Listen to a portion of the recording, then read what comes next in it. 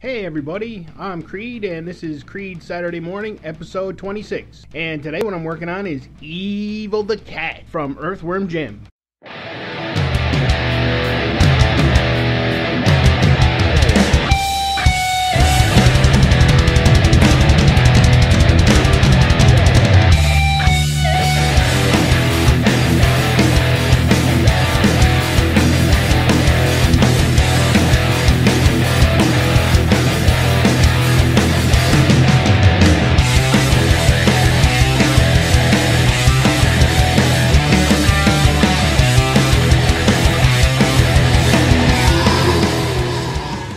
So the awesome cartoon Earthworm Jim ran from 1995 to 1996 and had 23 episodes. And Evil the Cat is villain number 90 in my gallery, so we're closing in on 100. Evil the Cat is one of Earthworm Jim's video game villains, and in the games he's trying to get Jim's suit, but he's a lot more hardcore in the cartoon where he's trying to destroy the universe. And luckily, so far, he hasn't succeeded.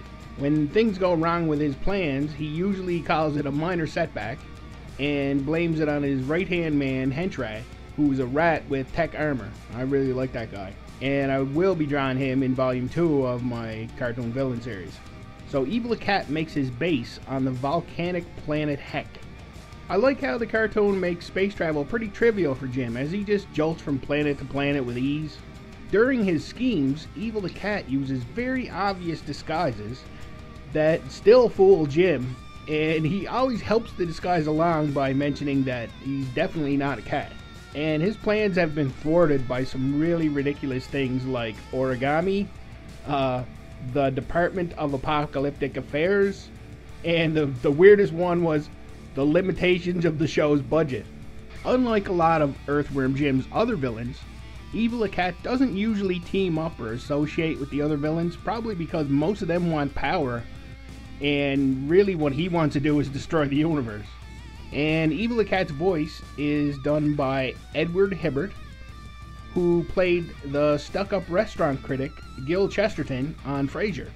This is the third Earthworm Jim villain I've added to my villains gallery. Uh, the first was Professor Monkey for a head.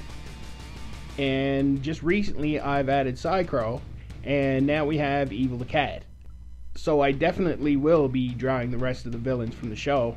It's kind of sad that the cartoon didn't last longer. It was a really awesome and surreal kind of cartoon. Definitely one of the best cartoons of the 90s.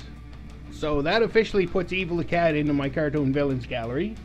And I have a lot more stuff in the works. I'm still just finishing up Villain 100. Uh, I've also started a Cartoon Heroes series, which I'll have some videos on that. Actually, the first hero in my Cartoon Heroes series is the Mighty Hercules, who I already did a video for. Uh, the second one is Norman from Mighty Max, and I believe the third one's going to be Pac-Man from the Pac-Man cartoon.